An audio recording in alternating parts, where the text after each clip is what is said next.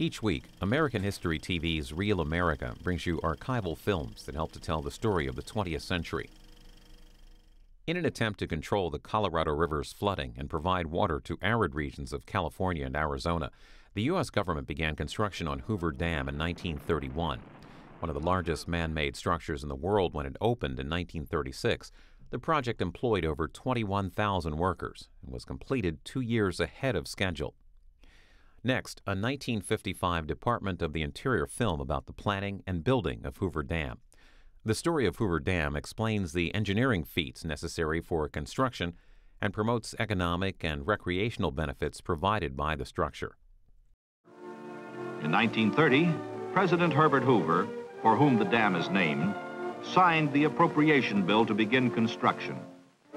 Under a contract awarded in March 1931 to Six Companies Incorporated, a combine of six major construction firms, men and machines went to work to build this dam of unprecedented size, this modern civil engineering wonder. Reclamation engineers rushed to completion specifications and design drawings. Crews at the dam site completed their surveys and investigations. Thunder of man's determination to conquer the Colorado reverberated between the sheer cliffs of Black Canyon as construction got underway. The first major task was to divert the river around the dam site. To do this, four tunnels, two on each side, were drilled through the canyon walls. Each 56 feet in diameter, they averaged 4,000 feet in length. Drill holes were packed with dynamite and blasted. After each explosion, shovels and trucks entered the tunnels, mucked out the shattered rock, and dumped it in nearby gulches.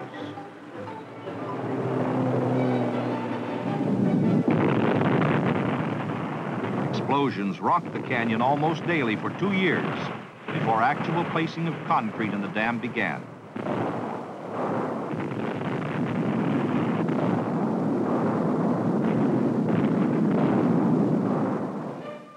Acrobatic workmen called high scalers prepared the canyon walls for each blast. Suspended on ropes, they drilled holes in the rock and loaded them with dynamite. After each explosion, these daredevils swarmed over the cliffs, prying loose rock and clearing the walls of debris.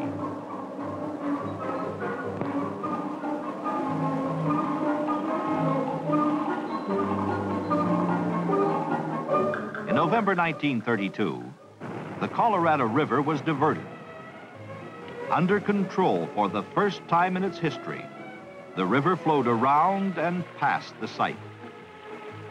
Men and trucks dumped an earth and rock embankment across the canyon below the tunnel openings, forcing the river from its age-old bed through the huge diversion tubes. A second earth and rock dam was thrown across the river above the tunnel outlets downstream, keeping water from backing into the foundation area. Isolated and protected from the river by the two coffer dams, the site was pumped dry. Men and machines dug 135 feet below the old river level to reach bedrock for the dam's foundation, excavating over 2 million cubic yards of rock, earth, and sand. As cleanup of the dam site exposed the ancient bed of the Colorado River, geologists read the history of what happened ages ago. Workmen cleaned and prepared bedrock surfaces to receive the first concrete, assuring utmost stability for Hoover Dam's foundation.